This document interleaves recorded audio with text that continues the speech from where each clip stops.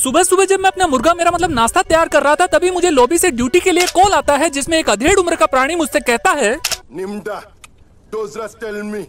जिसका मतलब था जंगल से चार जेसीबी को किडनैप करके वकांडा शहर लाना है और इसके लिए सेकंड एसी की तुम्हारी टिकट बुक कर दी गई है जिसे सुनकर मेरा मन कहने लगा सिस्टम पार देंगे।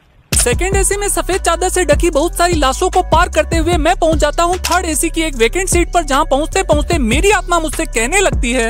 मैं तो फिर से थक गई। कैमरा ऑन करते ही सामने लेटे चाचा अपने अखरोटों की रखवाली करते हुए दिखाई देते हैं जिसे देखकर मेरा कैमरा भी मुझसे कहने लगता है। चाचा ये सवेरे सवेरे क्या मेरे को यही देखने का क्या? जंगल के स्टेशन पर उतरते ही मैं जाता हूँ सीधा मास्टर के ऑफ़िस में लोकोमोटिव की चाबी लेने। लोकोमोटिव की चाबी लेकर जैसे ही मैं लोकोमोटिव की ओर रवाना होता हूँ पीछे से मेरा लोको पायलट चिल्लाता है। मेरे को लस्सी के साथ बिल्ली का मूत भी पीना है।